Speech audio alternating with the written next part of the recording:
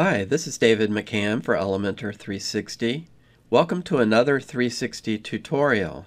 In this video, I want to look at how I set up a new site for site building using Elementor and the Page Builder framework. Recently, someone on Facebook asked how to get started with Elementor and the Page Builder framework theme. They weren't sure what settings to configure in the theme and what settings to configure in Elementor. This is a common question and it's important to get it right in order to be efficient and avoid conflicts. In addition to Elementor and the Page Builder framework, when I start a new site, I also use the Central Color Palette plugin for managing color options globally.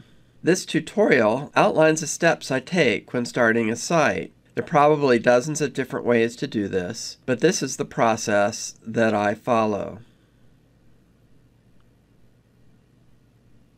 I have a test site here. This is the 2020 theme, and I've added some posts. If we take a look on the back end, we can see we just have the default WordPress themes installed. And the only plugin I have installed is this plugin FakerPress, which is what I use to create the demo content. The first step I take in site building are the installs. I install the theme and Elementor first, then I install the Central Color Palette plugin. This is because, as we'll see, when we set up the central color palette, we can enable it for the theme in Elementor, so it's easier to have those in place first. I'll begin by installing the theme, the Page Builder Framework. The Page Builder Framework is a general purpose theme which, as the name suggests, works well with page builders. Like Astra, GeneratePress, and OceanWP, there's a free version of the theme in the WordPress theme directory, and there's a Pro plugin that adds more features. The first step in the installation is to install the theme and the Pro add-on. I go to Appearance, Themes, Add New, and then I search for Page Builder Framework. Click Install and Activate. Normally when I set up a site, I delete all but one of these. I keep one of the default themes. I think it's recommended to have one in case there's a problem with your activated theme. And so I would delete the other themes. Then I install the premium plugin that goes with the theme. You typically get those from the theme's website. You log into your account and download it, and then you upload it to your site you activate it, and then you enter the license, which I've already done. Next, I install the Elementor Page Builder. There's a free version of Elementor with lots of features available in the WordPress plugin directory. You can see it has more than 4 million active installs. And you install that by searching for it here. Click Install and Activate. If you were going to use the Pro version of Elementor, then I would install that now at the same time. But the free version of Elementor generously includes the theme style settings. So for this tutorial, I don't need to have the Pro version of Elementor installed. Next, I install the Central Color Palette plugin. This is a plugin, as we'll see, that allows you to manage the colors for your site globally. You install that the same way as you did in Elementor. You search for it, install, and activate it. So that's the base. I install the theme, its premium plugin, Elementor, and the Central Color Palette plugin. The next step is to configure our colors. And the settings for the Central Color Palette are here under Settings. You can see that it automatically picked up the theme and Elementor that we had those installed. And we can also select to have the color palette shown in the Gutenberg block editor and in the classic editor if you're using that. So this is why I install the theme and Elementor first so that when we set up the central color palette, we have these selections already available. If you installed your page builder or your theme afterwards, you could come back into the settings and enable it later. Then I click Save. Now it's time to add the colors. You may have gotten the colors you're going to use from the client or from some other source. For the purpose of this video, I'm going to look through some of the color palettes that are available on the Canva website. There are lots of sites with sample color palettes or with color pickers that will allow you to generate a palette. I looked through the options available, and for this demo, I chose the Vintage Charm color palette. I'll use the green as the primary color and the gold as the accent color. So the next step is to type these hex codes into the central color palette. You add a color by clicking on this plus sign. Then you type in your color and it gives it a name. And then you click the plus sign again to add the next color.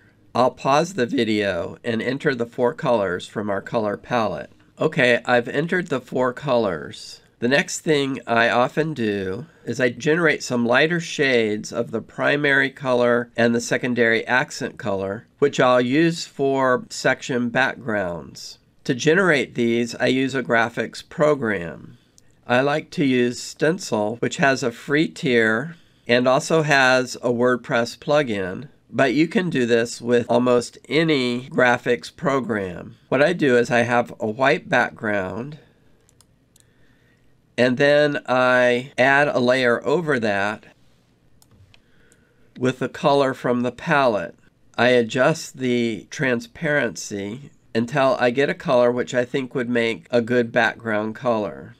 Then I grab that hex code and I add it to the central color palette. Since I'm generating these light colors for the background, I probably won't need this light color from the original palette, so I'll get rid of that. Now let's do the same thing with the gold color.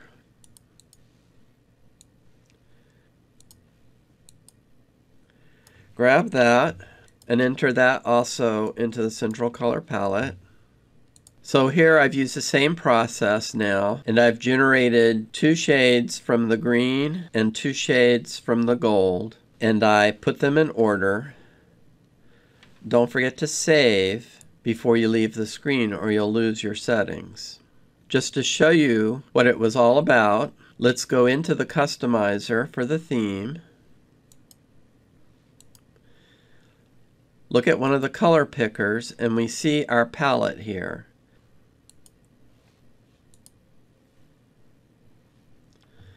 Let's go take a look at a post in the Gutenberg editor and we'll see our color settings are available there as well. And finally, we'll look in Elementor and Color Picker in Elementor, we'll see our theme colors there as well. So by using the Central Color Palette plugin, we were able to create a global color palette for the site, which is available for use everywhere. Now that I have the global color options set, I next make the selections for all of the theme options. I do the theme options before Elementor because it's possible to set Elementor, as we'll see, to pick up the theme settings. Gutenberg will also use a lot of the theme settings. However, neither the theme nor Gutenberg can use Elementor settings. So we set the theme settings first and let those trickle down to Gutenberg and Elementor. As with most general purpose, page builder friendly themes, there are two places where you can configure the settings. You can go into the customizer or you can go to the theme settings page. You set the colors and typography in the customizer, so let's go there. The exact settings you're going to use depends on your needs and your site and your content. I'm just going to go through a few of the theme settings so that you get the idea. If we look at layout, I just want to point out that the default layout of the Page Builder framework is 1200 pixels wide and we'll need that information later we go into the sidebar settings, we can set the background color.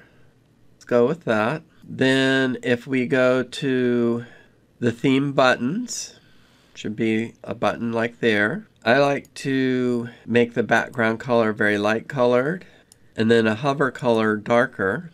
Have the font color be the primary color and then I like to set the primary button colors the same, but you could do that differently if you wanted to.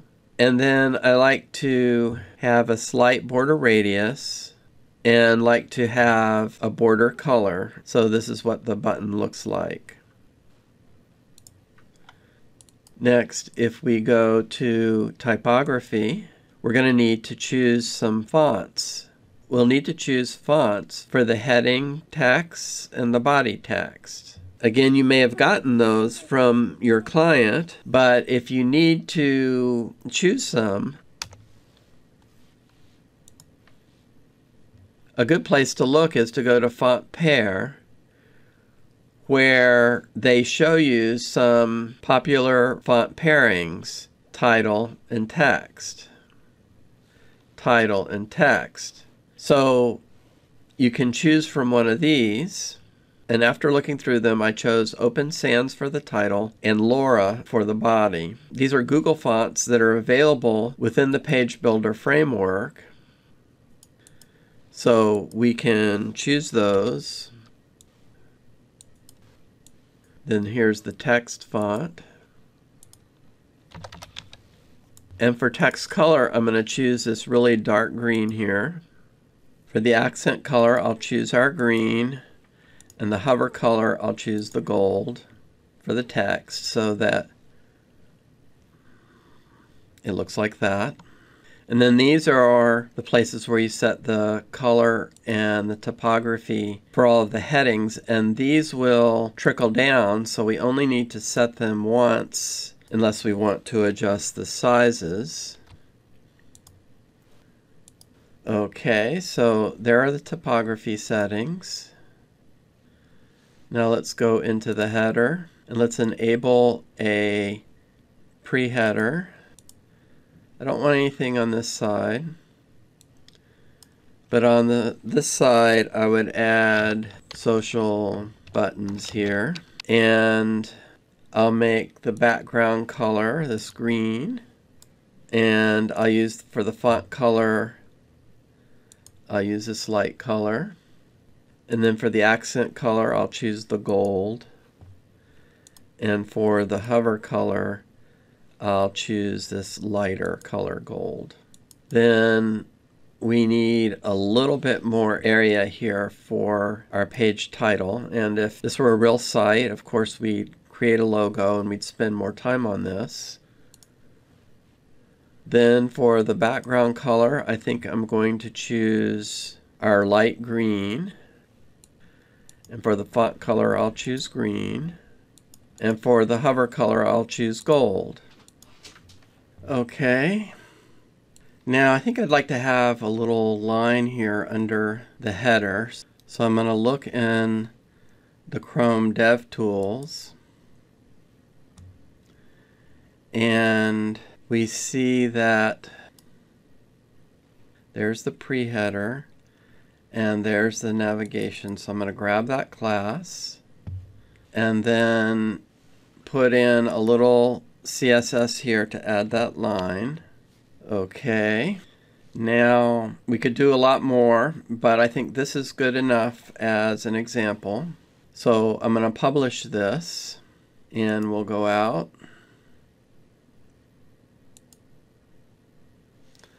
And this is kind of our first draft.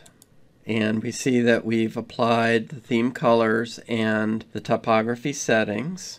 So the next step then is to go into Elementor. First thing we want to do is we want to go to Admin Elementor Settings and we want to disable the default colors of Elementor's default colors so it'll pick up the theme colors. And we want to disable the default font so it'll pick up the font settings that we made in the customizer. We'll save those. Then the next thing we do is we go to the Style tab. Now remember I showed you that the default width for the Page Builder framework is 1200 pixels. So we'll enter that. But now we also need to get the tablet and mobile breakpoints. To get those, we're going to go to the theme settings. This is the theme settings page. And the Page Builder framework has a place in the user interface where you can set these. We see that above 1024 pixels, it'll go from tablet to desktop. So if we look at the Elementor settings, it says 1025, which is what we want because it says below this breakpoint, it'll go into tablet. So it can be a little bit of a mind bender because most people, when you're talking about breakpoints, do it this way above. Elementor's been doing it the other way, which is below. So we need to add one pixel so that they match. Then for mobile breakpoints, the Elementor default is 768 and the theme default is 768. So to make these match, we need to add one pixel here so that they match. Then we save these. Now the Elementor page width and breakpoints are the same as the theme. The next step is to go into a page using Elementor and go into the settings now default color and default fonts, these are what we disabled just a minute ago. We can leave those alone. But a new setting from Elementor is the theme style settings. And this is very generously available in the free version of Elementor. So we go into here. Now, the typography settings, these are all things that we just did in the theme we absolutely want to ignore these now in Elementor. The only things we want to set in Elementor are the things that won't carry over from the theme. Unfortunately, buttons is one of those. Even though we configured buttons in the theme customizer, Elementor uses its own class styles. So we'll need to configure those here as well. Let me add a button here first so you can see what I mean. See, this is using the default Elementor button style. It didn't pick it up from the theme, although it did pick up the colors and fonts from the theme. But it's pretty easy just to duplicate what we did in the theme customizer. So now the buttons match. Because tables, form fields, and images are HTML element based, like the typography options, I think these will automatically pick up any theme styling. Okay, now that we've set the Elementor options, we save. And if you're curious about this, you can go out to the Elementor template areas and you'll see that this is the style kit that's created. It doesn't matter what page you go into that theme style settings, it saves the styles in this kit here. So that's kind of cool. These are the first steps I usually go through when building a new site.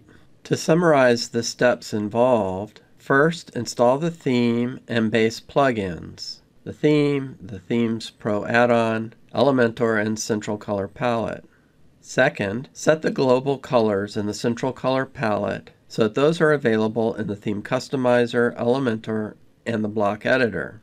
Third, do all of the configuration you can in the Theme Customizer. Most of these will be picked up by the Block Editor and can also be used by Elementor. Fourth, in the Elementor settings, disable the default colors and fonts so that Elementor will use the theme settings. Set the page width and breakpoints in the Elementor style settings to match those of the themes. And finally, in the Elementor editor, go to the theme style area. Avoid the typography and color settings, as these will be picked up from the theme. But go ahead and set the button styles and anything else which won't trickle down from the customizer. In this video, I use the Pro version of the Page Builder Framework theme because the theme options are clear and you can do things like change the breakpoints from the theme settings page. If you're using a theme that doesn't show the page width or breakpoints, then you may need to contact the theme's developer to get that information. All of the steps that I've undertaken in this tutorial you might do anyway, but by following them in this order, you can intelligently make the most of the layout, styling, and responsive options with a minimal amount of effort. And you also avoid setting the options in two places where you might accidentally create conflicts. There's a text version of this tutorial available on the Elementor 360 website, along with other tutorials and walkthroughs and Elementor resources. That's it for this tutorial. I hope you found it useful. Thank you for watching.